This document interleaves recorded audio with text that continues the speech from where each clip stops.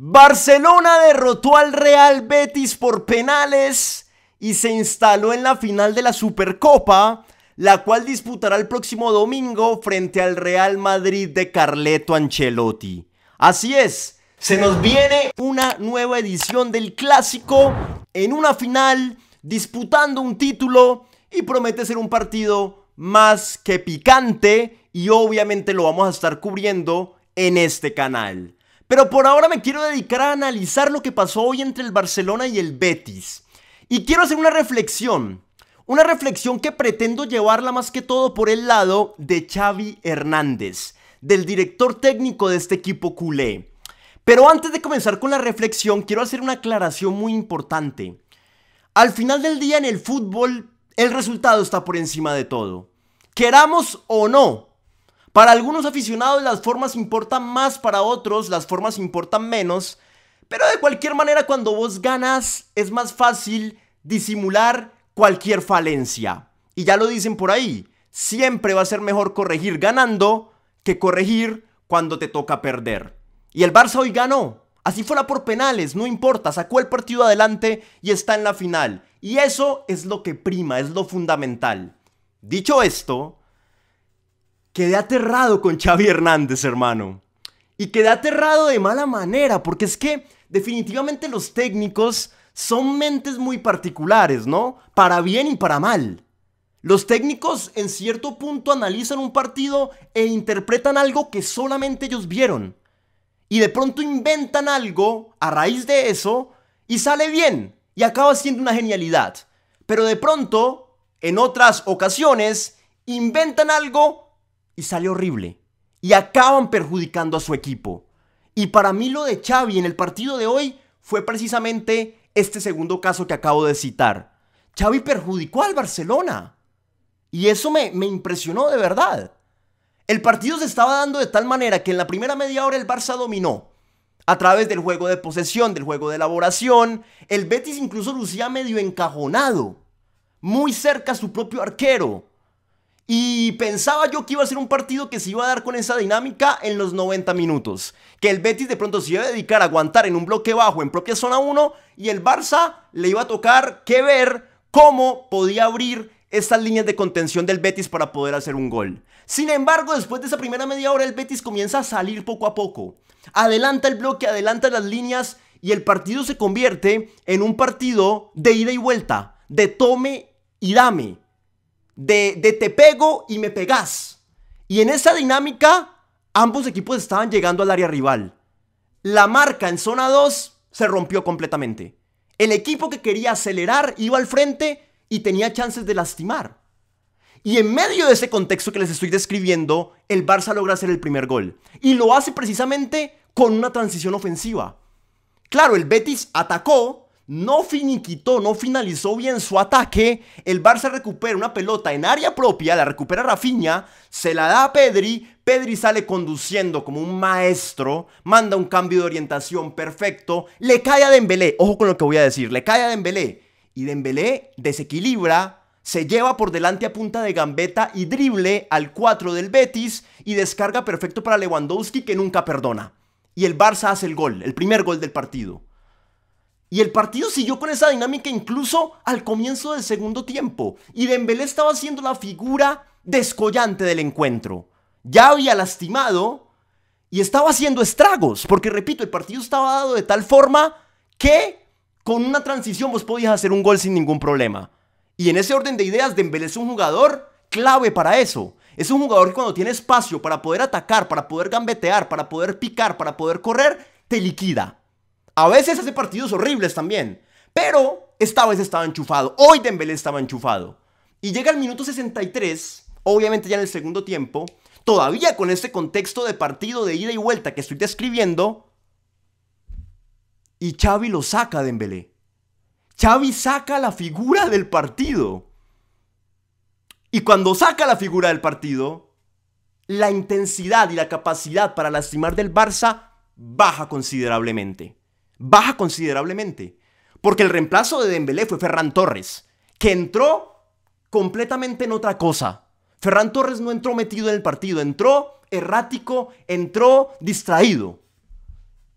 Y las posibilidades que tenía el Barça de lastimar con contragolpes se diluyeron completamente. Y no solamente lo saca Dembélé, en ese mismo minuto 63 hizo otro cambio. Lo sacó a Frankie de Jong y lo metió a Busquets.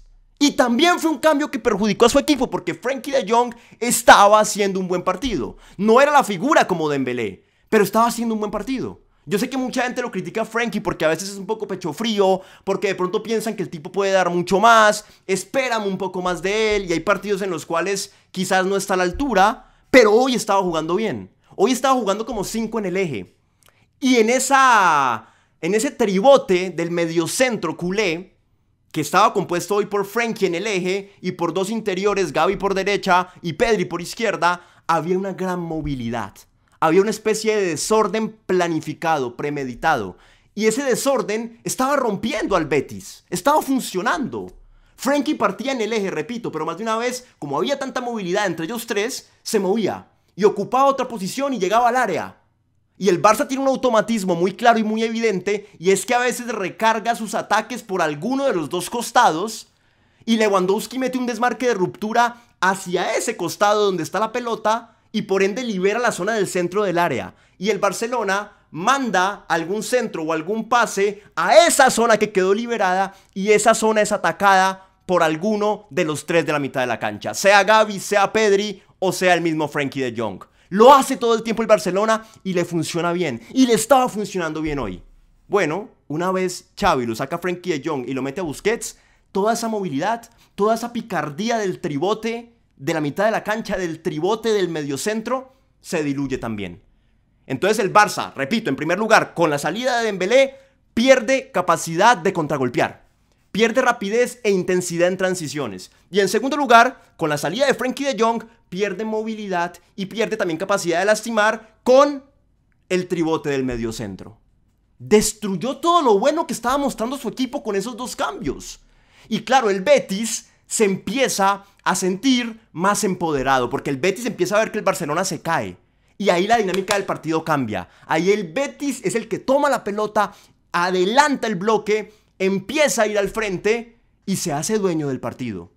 Y entonces en el Betis ya Luis Enrique, que para mí Luis Enrique la rompió toda. La figura del partido pudo ser Ter Stegen porque Ter Stegen tuvo un par de intervenciones muy buenas en los, en los 120 minutos de partido y en los penales se lució y acaba siendo el héroe Ter Stegen. Está perfecto, pero sacando a Ter Stegen, para mí el segundo jugador más destacado del partido fue Luis Enrique. Qué pedazo de jugador. Juega como extremo por derecha, pero es zurdo, o sea, juega perfil cambiado y le hizo la vida imposible a Jordi Alba primero. Y eventualmente Xavi lo saca a Jordi Alba y lo mete a Marcos Alonso y también le hizo la vida imposible. Y los dos goles del Betis llegan con asistencias de Luis Enrique precisamente. Entonces empieza a destacar Luis Enrique por un extremo, eh, Pedri por el otro extremo, Fekir que estaba jugando como enlace también se empieza a destacar. Canales en el primer tiempo, porque en el entretiempo salió, pero Canales en el primer tiempo ya estaba formando circuitos por carriles internos junto a Fekir. O sea, se despertó el Betis completamente. Y se despertó y consigue el empate. Consigue el empate con un gol de Fekir. Con una jugada en la cual se vio lo que les acabo de decir. Que el Barça recupera la pelota y antes el Barça recuperaba y contragolpeaba rapidísimo. Pero esta vez ya había perdido capacidad de punch, capacidad de lastimar, entonces recuperó la pelota el Barça en campo propio y no pudieron ganar ninguna contra. Y Ferran Torres perdió una pelota y Gaby perdió un duelo también y la recuperó rápido el Betis de nuevo. El, el Barça ya no tenía como contragolpear. Y el Betis, ¡pum!, le acaba empatando. Y se le montó en el partido completamente. Claro, ya después el Barça pues trató de reaccionar. Obviamente el Barça es un equipo que tiene individualidades interesantes. Lewandowski arriba es un jugador picante. Hizo otro gol de Lewandowski que lo invalidaron por un fuera de lugar previo de Ferran Torres. Ya en el primer tiempo le habían anulado un gol al Barça al comienzo del partido por un fuera de lugar de Rafinha que para mí fue una ridiculez total porque era un fuera, un fuera de lugar de esos que son milimétricos que no tienen sentido alguno. Pero bueno, llegamos al, al tiempo extra. Eh, eventualmente el Barça marca un golazo con Ansu Fati. Pero responde el Betis de nuevo, de nuevo con Luis Enrique. Ya había entrado Loren, que agarró la pelota y metió un taco fenomenal e hizo un gol de taco increíble. Y el partido queda 2-2 y acabamos yéndonos a los penales. Y allí el Barça lo resolvió porque tuvo más jerarquía y porque tuvo un Ter Stegen completamente enchufado. Pero el punto es, para finalizar esto, que los técnicos son una cosa muy rara. Los técnicos son una cosa muy rara para bien y para mal. Y Xavi es el segundo partido ya que le veo, seguramente ha tenido muchos más, pero he cubierto al Barcelona contra el Atleti y hoy contra el Betis. Y es el segundo partido que le veo donde se equivoca con los cambios. Y los cambios que hace acaban perjudicando al equipo culé. Es así. Es, es increíble, pero un técnico puede acabar atentando contra el bienestar de su propio equipo. A pesar de eso, el Barça logró sobreponerse y está en la final contra el Real Madrid. Ya vamos a ver qué pasa. Gracias por haber llegado al final de este video. Espero que les haya gustado. Suscríbanse al canal de YouTube. Síganme en la cuenta de Facebook. Denle me gusta al video. Donen un dólar para la comunidad de Patreon de este canal. Porque literalmente ese dólar lo usamos para mejorar todos los aspectos inherentes a la producción del canal. De igual manera, eh, únanse al Discord de Nación Futbolera, que es de unos amigos míos que son bastante fanáticos del fútbol. Y síganme en TikTok, que aparezco como juancamilocastillo.tv. Gracias y nos vemos en una próxima oportunidad.